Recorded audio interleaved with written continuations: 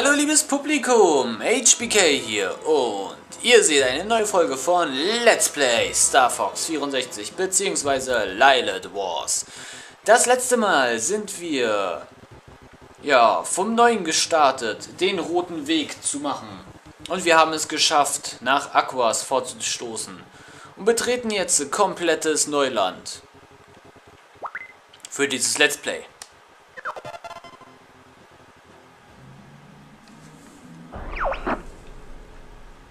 Star Fox, I want you to take out the enemy bioweapon. Yes, sir. Deploy the Blue Marine. Good luck.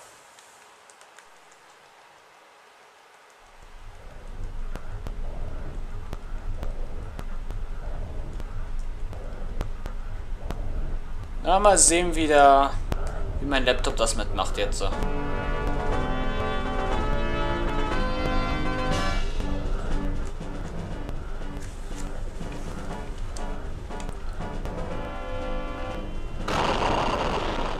Ja, da hört man schon wieder, der Ton ist alles andere als wunderbar. Oh ja. Das zerreißt den Ton mal wieder wunderbar. Und wir haben direkt zu Beginn Slowdowns. Was ich nicht schön finde. Weil ich echt nicht mehr weiß, woran es liegen Ja, und hier hat man eben das U-Boot. Das Gimmick beim U-Boot ist, dass man unendlich Torpedos verschießen kann. Und diese dann auch immer diese, also ja, einem die Sicht geben in diesem wirklich düsteren Level. Das ist wirklich das düsterste Level von allen, muss man sagen. Und ja, man, es ist, sind eben Lenktorpedos. Die Torpedos sind wirklich, gehen wirklich auch dahin immer, wie man da gerade anvisiert.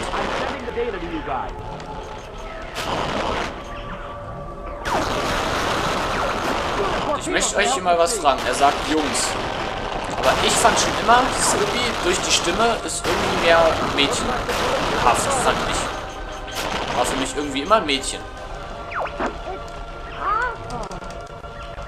Ja, und wie es klingt, also ist das hier wohl arg verschmutztes Wasser.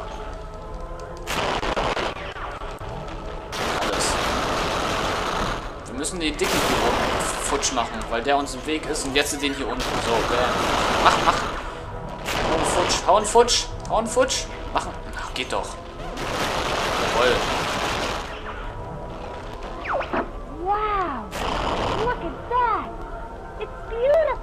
Erst über das verschmutzte Wasser labern und jetzt zu sagen, es ist wundervoll. Wow, guckt euch das verschmutzte Wasser an, das ist wundervoll.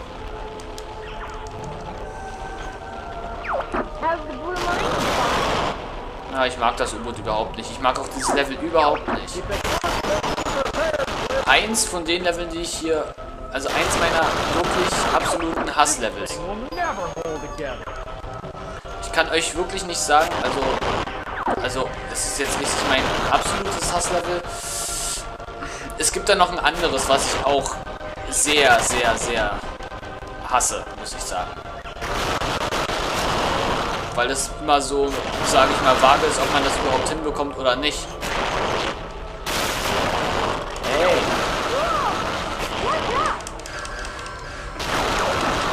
Barrel Roll, genau. Ja, ja, wunderbarer Ton, also. Da kann man echt nicht meckern. Hallo, Leute, hört doch mal auf jetzt. Kann ich vielleicht mal wieder so, so einen Silberring haben? Gebrauchen.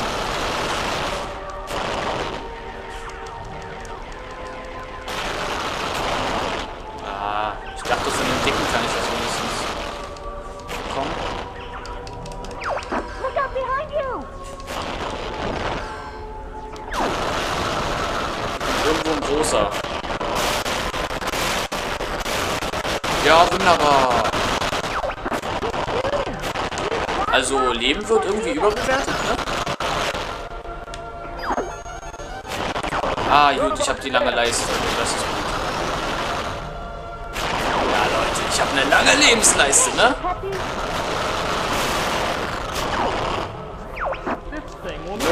zweideutigen Witz zu machen, habe ich jetzt äh, verpasst, wie Happy Slippy ein Kompliment gemacht hat. Und das kommt nicht häufig vor, dass Slippy Komplimente bekommt. Nein! Ah, die scheiß Seesterne explodieren immer, wenn man sie nicht mit einem Torpedo abschießt. Ah, das zieht ziemlich viel Energie immer ab. Weil wenn ihr jetzt mal auf meine Energieleiste guckt, ich bin fast down. Das ist doof. Weil wenn ich fast down bin, heißt es, dass ich das Level hier wahrscheinlich gar nicht schaffe. Weil hier kommt jetzt eine Passage, wo ich unter Garantie, das, das schaffe ich auf keinen Fall mehr.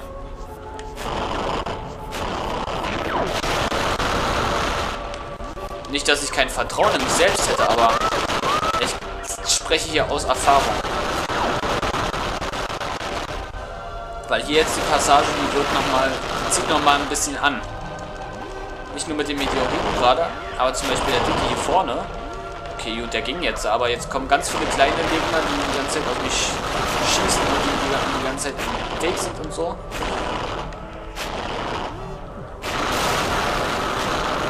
Und wenn ich den Boss bioweapon. wirklich jetzt noch schaffe dann. Und man hätte mir doch wenigstens einen Ring geben können oder so. Und ich laber und laber und laber in einen monotonen Ton. Ja, ich muss aufpassen, dass ich nicht zu laut bin, damit ich meine Nachbarn nicht wecke oder so. Es sieht mich... Ich finde ja, der sieht ein bisschen aus wie... Also das Auge sieht ein bisschen aus wie einer der Kerne aus Portal. Space! Alle Portal-Spieler wissen, was ich meine. Ich bin im Weltraum. Weltraum! Der Space Core, der ist echt cool. Oh, okay, gut. Oh, wow, wow, wow. Nein, nein, nein, nein, nein, nein. Oh, gut, geht doch.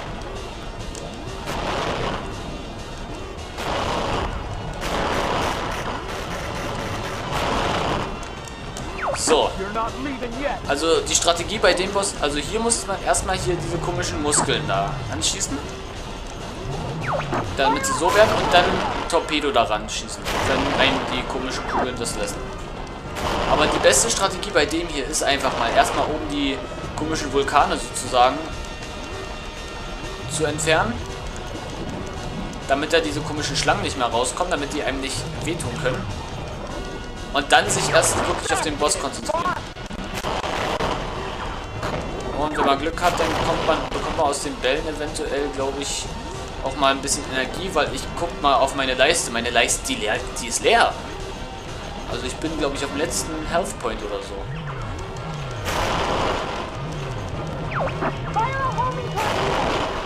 So. Und BAM! Wunderbar, wunderbar, wunderbar, wunderbar. Ich kann jetzt aber wirklich mal ein bisschen in Energie wieder columns.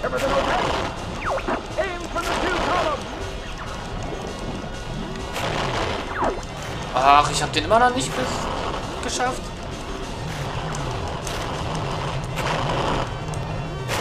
Ach Mann, diese doofen Kugeln sind immer im Weg. So, jetzt. Ja, ja, ja, ja. Energie, Energie, Energie, Energie. Wunderbar.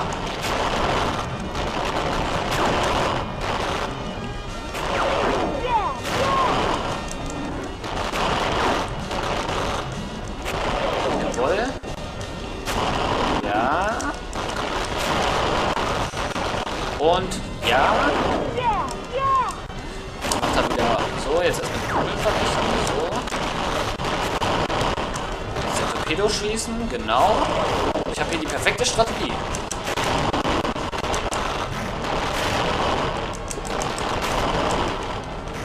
Und. Nee, das waren die Kugeln wieder am Weg. Nein! Da waren die Kugeln gerade ein Stück zu nah. Oh, und wunderbar. Beim ersten Versuch wieder geschafft. Wunderbar. Das war's denn mit dem ersten Planeten auf dem roten Pfad. Also der ersten Planeten in diesem Video meine ich jetzt. äh, Auf dem roten Pfad. Und zwar Aquas. We're preparing to dock. Das ist eine ganz schöne Anstrengung, das Level. Ich habe es auf Anhieb geschafft, was normalerweise nicht gerade sehr häufig ist. Normalerweise schaffe ich das nie auf dem ersten Versuch. Bis auf jetzt und auf dem 3DS. Ich glaube, mit dem 3DS habe ich mich ganz gut eingeübt, muss ich sagen.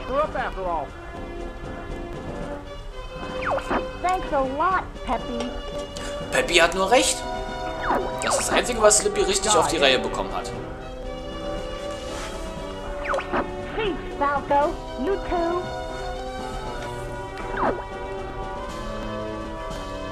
Ihr wisst ja, ich bin kein Fan von Slippy. Weil man Slippy überall retten muss, immer. Jo, und damit haben wir 6 extra Leben in diesem Level. 131 Abschüsse und in drei Planeten schon 388. Ist doch schon mal gar nicht mal so schlecht, wenn man bedenkt, dass ich in meinem ersten Durchlauf gerade einmal 600 noch was Abschüsse hatte, soweit ich mich erinnere. Mal gucken, ob wir jetzt auch weiter können oder ob der Emulator mir wieder sagt, nee, ist nicht. Es geht weiter.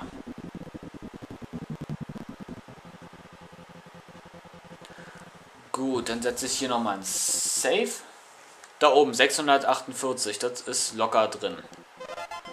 Wir sind jetzt in Zones.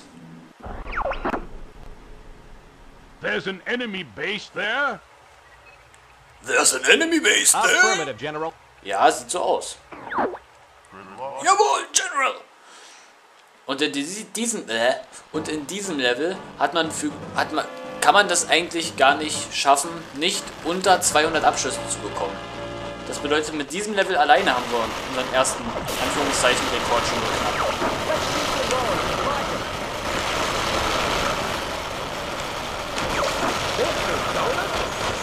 Und ja, ihr wisst ja, je näher wir Andros kommen, desto schlimmer wird der Sound. Da sehen wir mal, wie böse Andros wirklich ist.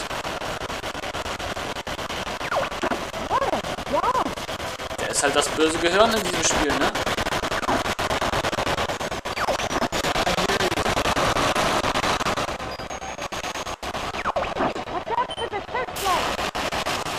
So, und in diesem Level ist das Gimmick, wir müssen mal die Lichter ausschalten.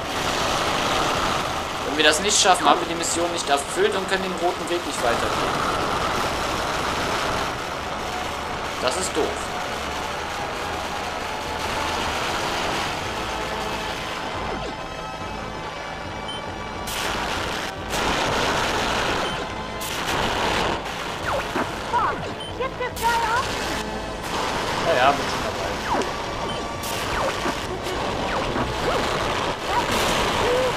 Da kam einer von hinten.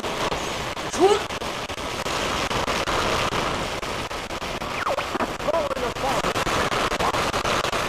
Das war gerade ein kleiner Scherz.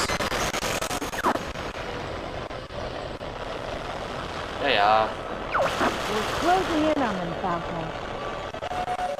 Und guckt mal, wer da ist. Da ist Cat.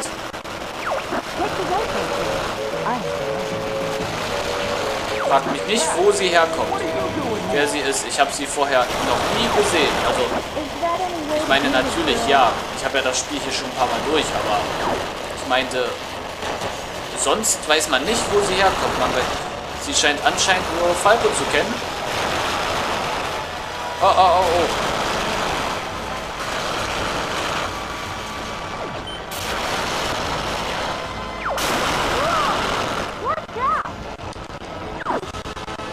Keine Ahnung, was das für hier zu bedeuten hat. Das lenkt einfach nur ziemlich ab.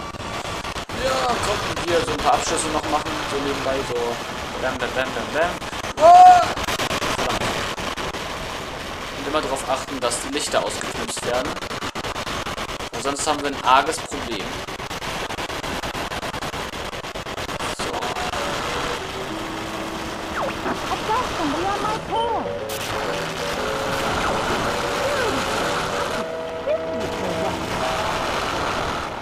Sie könnte uns dafür küssen. Warum macht sie es nicht? So, ich setze ihn in Safe State, deswegen hat es gerade geruckelt.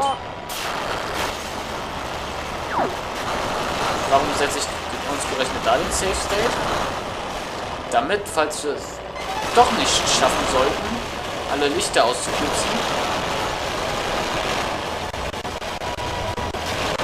dass ich dann von da aus sagen kann, von wegen, ja, okay, gut, dann benutzen wir ausnahmsweise mal Safe States, obwohl ich sie, wie gesagt, normalerweise nicht brauche. Aber das ist alles zur Vorsicht. Wir wissen ja, dass dieses Let's Play irgendwie nicht gerade unter dem besten Stern steht. Sei es der Ton, sei es eben der Planet, wo Slippy nicht mit bei sein kann. Beziehungsweise wo wir Slippy ja, suchen. Wieder. Soll mal aufhören, immer von hinten zu kommen, ey. Gibt's doch nicht.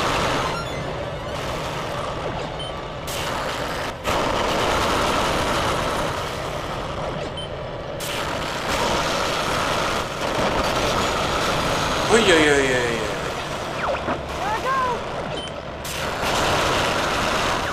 Bleib mal weg, Slippy.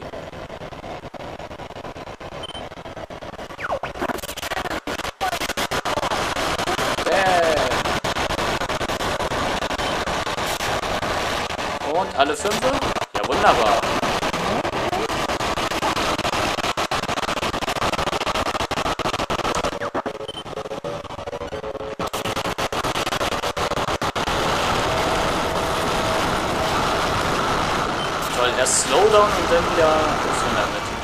Ah, ich hasse diese Slowdowns. Aber anscheinend kriegen wir die nicht mehr raus. Das ist.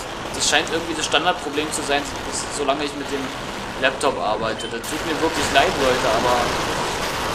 Naja, ich hoffe, ihr könnt es mir nachsehen. Ich hoffe, ich kann es irgendwie wenigstens ein bisschen, sag ich mal, ein bisschen mit meinen Kommentaren und sowas alles ein bisschen unterhaltender machen.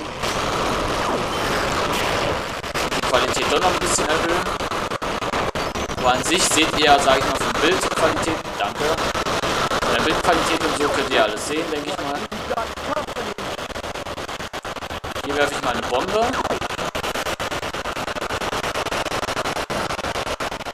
Den Lichter kaputt zu machen. Ja, ich weiß, deswegen habe ich die Bombe geworfen. Weil der Typ hier oben mich die ganze Zeit stresst. Jeez Louise, what is that? Ein Wassermin. Deswegen mache ich hier auch nochmal eine Bombe. Keine Sorge, ich verschwende die Bomben nicht. Wir kriegen gleich mehr als genug. Von diesem netten Herrn hier.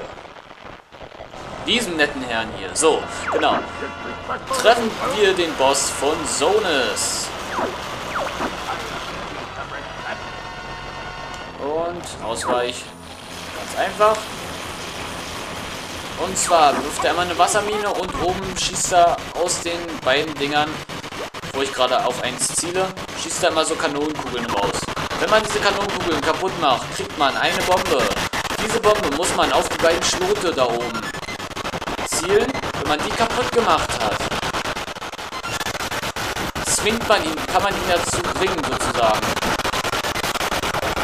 Diese, die Teile, wo jetzt die Bomben rauskommen und so, also dann kann man die kaputt machen und zwingt ihn dazu, den Kran zu benutzen. Dann muss man den Kran kaputt machen. Und dann wieder die unteren Teile und dann kann man ihn erst richtig besiegen.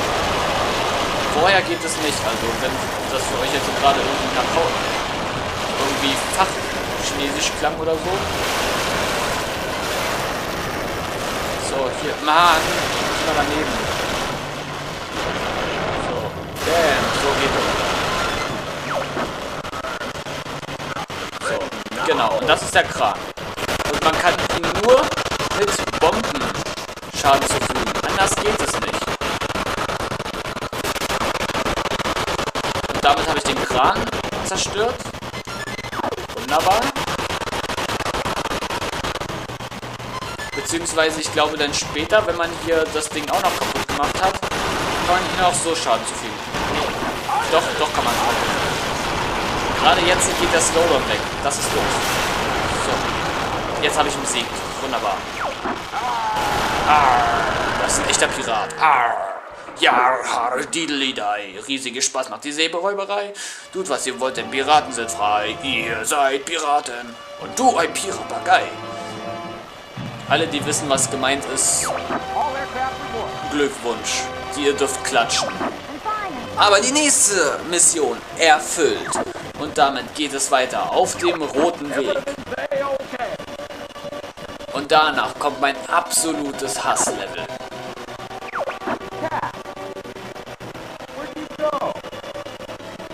Und geslowdown. Extrem. Wir bekommen drei extra Leben. Schlecht, würde ich sagen. Nicht schlecht. Aber wie es immer so ist, zwei Planeten gemacht. Zwei kommen noch und damit würde ich sagen, das war's für diese Folge von Let's Play Star Fox 64 bzw. Lilith Wars. Ich bin HBK und ich würde nochmal sagen, tschüss, bis dann.